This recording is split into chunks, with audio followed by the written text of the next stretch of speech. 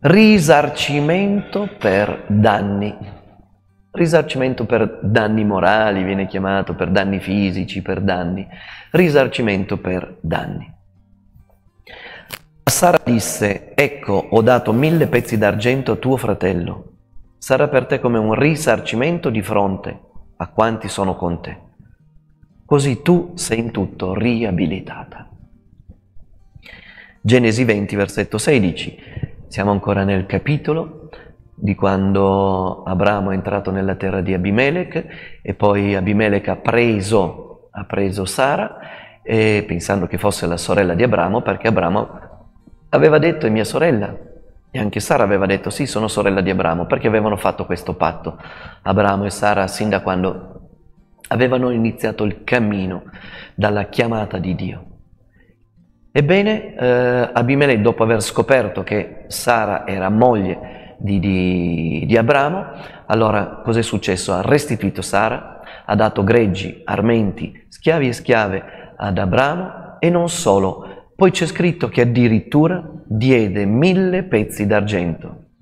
Ho dato mille pezzi d'argento a tuo fratello Così sarà per te un risarcimento di fronte a tutti quelli che hanno saputo questa cosa. È un risarcimento, così tu sarai riabilitata. E perché magari hanno pensato male di te e quindi adesso sei riabilitata in tutto. Quando i giornali scrivono qualcosa di brutto di qualcuno, a volte inventandoselo anche, e poi invece viene a galla, viene fuori, viene eh, eh, eh, riconosciuta l'innocenza della persona, scrivono un trafiletto nella 32esima pagina al fondo, nascosto in mezzo alle pubblicità, in modo che nessuno lo legga. Perché non fa, non fa notizia una cosa bella. Però la persona resta eh, eh, screditata davanti agli altri, è molto brutta questa cosa.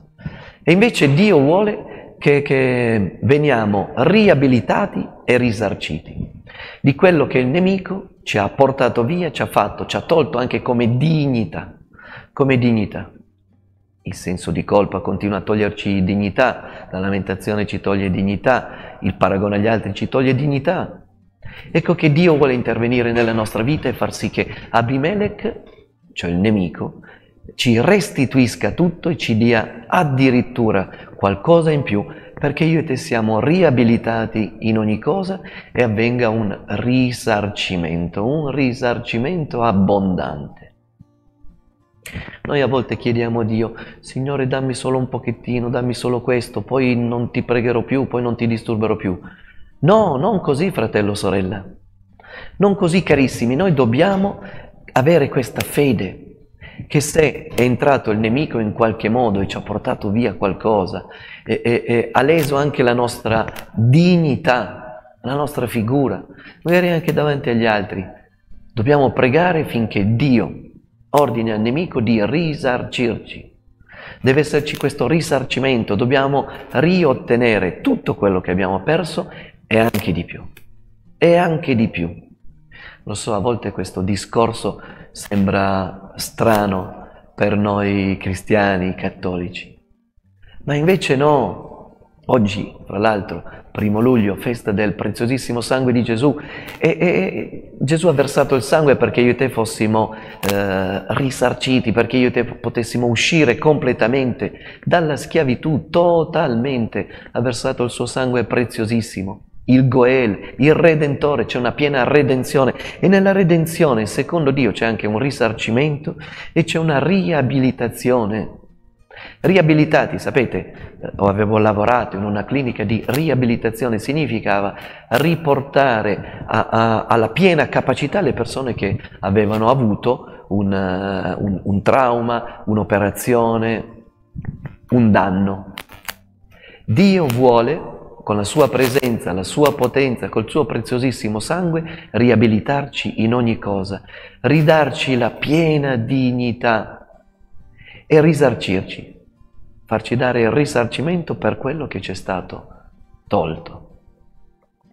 E allora possiamo solo pregare, credere e confidare in Dio in questa cosa. Dobbiamo avere però fede, perché se noi non siamo a conoscenza di tutto questo, non richiediamo il risarcimento. Ecco che L'ignoranza non paga.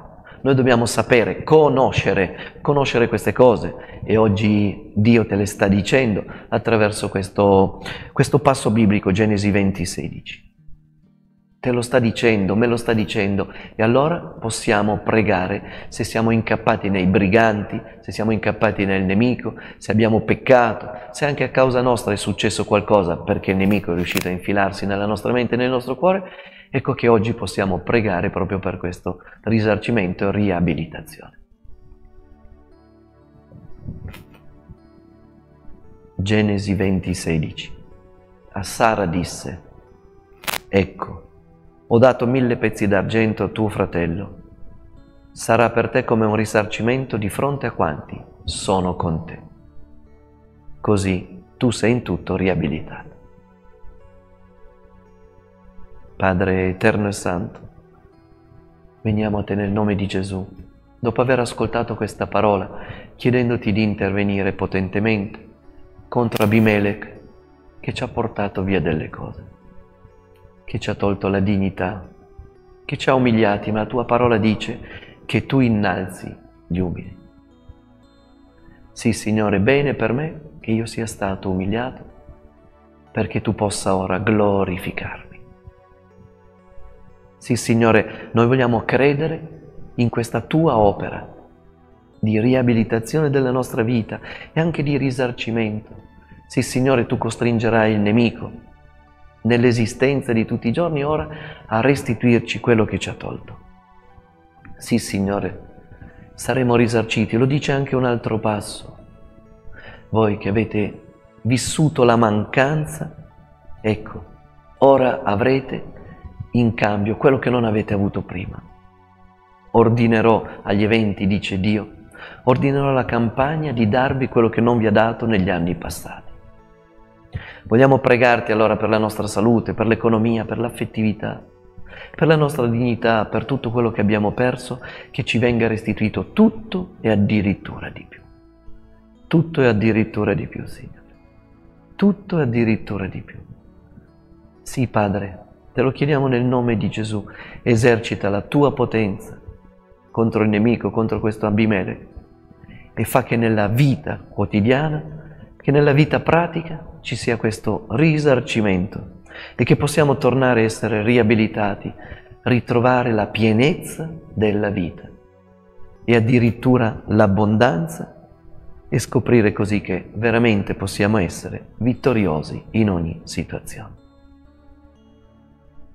Amen. Allora in questa festa oggi del preziosissimo sangue di Gesù invochiamolo su tutti noi, sui nostri cari, sui nostri averi, invochiamolo nelle situazioni anche di, di, di, morte, di distruzione, di perdita che abbiamo avuto, in quelle, invochiamo il sangue di Gesù in quelle situazioni dove sembra non sbloccarsi niente. E Dio, attraverso questo sangue preziosissimo, farà sì che Abimelech che il nemico ci restituisca, che ci restituisca tutto quello che ha preso, addirittura ci sarà un risarcimento e noi saremo completamente riabilitati, ritorneremo nella pienezza della vita. Dio vi benedica grandemente, ci rivediamo domani mattina alle 7.15, maratona di preghiera, e poi domani sera ci sarà la serata Lev e vedremo Abramo che giunge alla pienezza delle promesse.